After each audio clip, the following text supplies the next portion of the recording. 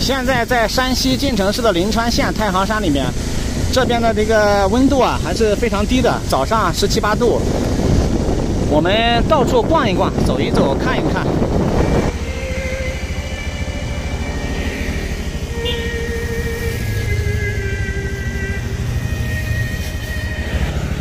这山里面很多人骑摩托车，因为在这边骑摩托车，呃，这个比较凉快嘛。感觉比较舒服，所以说没事就在这里面骑一趟。看旁边，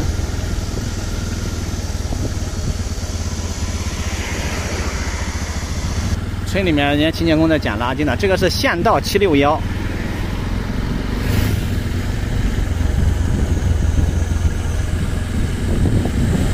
这一条道路两旁大家可以看一下，也是非常的干净和整洁的，干干净净的。朋友们，我走到这个地方以后啊，发现了一种现象，也是感觉到越走心里面越想，有点越生气吧。呃，是什么情况呢？给大家来看一看。我们都知道，这山里面的这个环境啊是非常好的，空气好，温度适宜，很多人呀在这边避暑。大家也经常看到我这一段时间的视频啊，都是拍的在山里面避暑的这个视频。为什么在山里面避暑呢？那它就是温度凉爽嘛。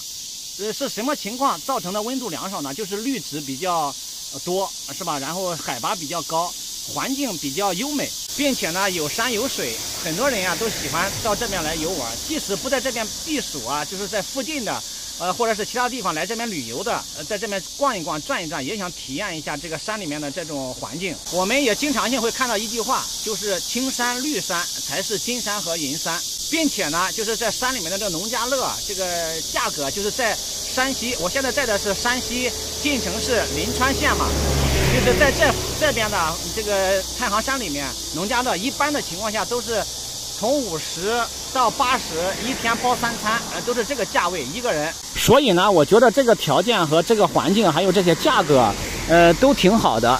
但是呢，我给大家来看一看一种现象吧。相信大家都知道，山里面的这个山泉水呀，还是非常珍贵的，也是，呃，非常好喝的。大家可以看一下下面那条河里的水，虽然是说水很少，水流很小，但是可以看得到清澈见底。如果你下去以后啊，那么呢，可以一用手一摸啊，冰冰凉凉的，非常舒服，并且里面还有一些小鱼在里边。嗯，大家可以看一下，那都是有很多车呃车辆压出来的路了。是不是很多人呀把车开下来？是什么原因呢？我们再走近一点看一看吧。呃，大家可以点击我的名字看一下以前的视频，也经常性的会看到这河里面很多人在这里面，就是说搞露营啊、捞鱼呀、游泳啊等等的一系列的这个戏水活动。特别是现在暑期嘛，暑假期间，很多大人带着小孩来这边玩，有山有水，并且是免费啊。所以说呢，呃，这个地方就是很多人。现在呢是早上的八点多啊，所以说呢，目前是看不到什么人。如果到中午到下午，这个太阳一落山，嗯，这个地方的人就非常的多。大家可以看一下前面这条路呢，目前呢已经是用这个大石头挡住了。挡住了以后，那么会造成一种什么现象呢？就是大家都下不去了。但是呢，还有是有很多人从这个地车子下不去了，很多人用这个地方走路下去。这里啊，靠近马路边呢，大家可以看一下，有一个路肩一样的，看就是这整条路，我停摩托车的那个地方，然后这边是个路肩。很多人有一种什么情况呢？就车下不去以后，他们把车停在这个地方，坐在这路边进行露营吃东西。呃，我有可有可能大家在以前的视频里面，可能在一闪而过的镜头里面可能看到过，以前我没有太在意。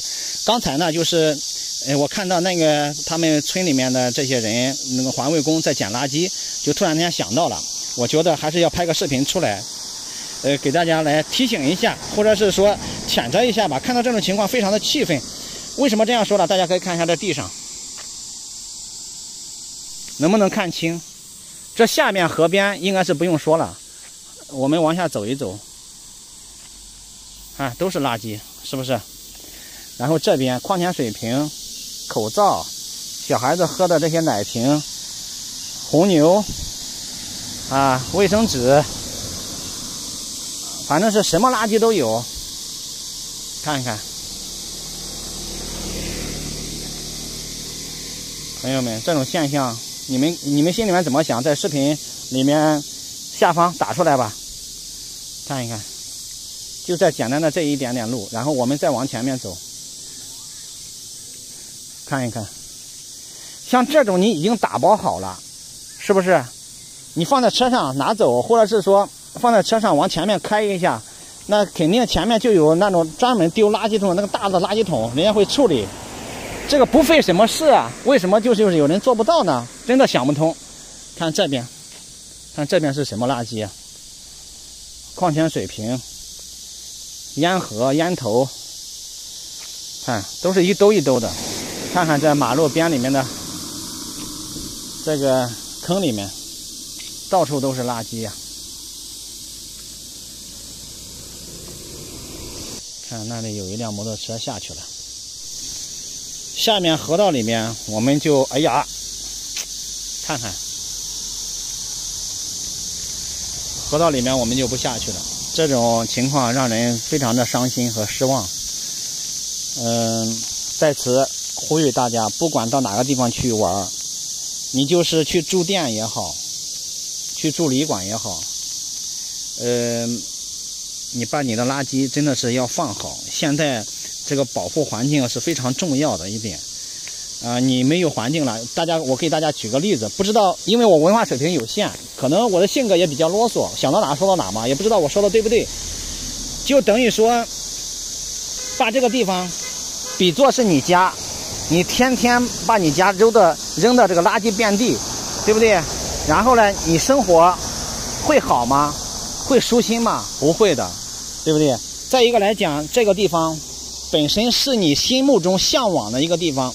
我今天来了，我下次还想来。大家都像你一样的乱丢垃圾，你这一次来了，觉得干干净净的，在这里，呃，就游玩的、玩耍的非常愉快。但是你下次来的时候，大家都跟你一样，这个把垃圾遍地都丢。你一来了，一看啊，这个地方怎么成垃圾场了？那么呢，一点都不舒心了，不舒服了。下次你也就不来了。这样子的话，我们的这个好玩的地方、漂亮的环境越来越少啊，朋友们，是不是？是不是这个道理？我觉得应该是吧。所以说，你不乱丢垃圾，你保护了环境，变相的是为你自己创造了一个好的生活生活环境啊，好的一个游玩的场所。你保护环境，不乱丢垃圾，不是为了别人，是为了你自己、你的家人。我们不说说人家环卫工辛苦或者怎么怎么样。是吧？我们不考虑别人，你考虑你自己，你也要把这个环境搞保护好，是不是？还有一点，比如说你出，很多人说是我出去住店、住宾馆呀，都是会把人家的这个呃被子啊、什么东西都收拾好，一样的一个道理，是不是？你要是呃起床了，或者是怎么样了，离开那个地方了，东西搞得乱七八糟的，人家下次还欢迎你吗？是不是？你如果是说下次再来这个地方居住的话，你一看乱七八糟的环境，你还愿意住吗？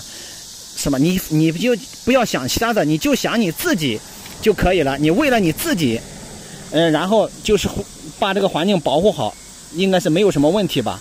哎呀，我觉得我有点语无伦次了，嗯，不知道说什么好了。反正是一定大家要保护好环境，不要再乱丢垃圾了，真的。丢了垃圾，你连一个好玩的去处都没有了，是吧？以后，呃，非得说是要人家控制起来、管理起来，然后不让你进，就像这样子一样了，是不是？你就舒服了。不管你的工资环，就是你的工作有多好，工资有多高，啊，你的多有钱，呃，是不是？但是呢，你把你把所有的这个生活环境还有游玩的环境都已经造成这样子糟蹋了。那么呢，你有钱有什么用呢？是不是？根本就没用了，你的生活质量也不会提高。有些人呢，他穿的就是光鲜亮丽，然后谈吐文雅，但是呢，随手丢垃圾的这个习惯，把你所有的一切的素质都给你踩在脚下了。你表面上再光鲜再亮丽，呃，文化素质再有多高啊，就都不如你默默无闻的把环境保护好，那才是体现出来你素质的高尚。好吧，现在什么也不说了，呃，留给大家评论吧，咱们下期再见。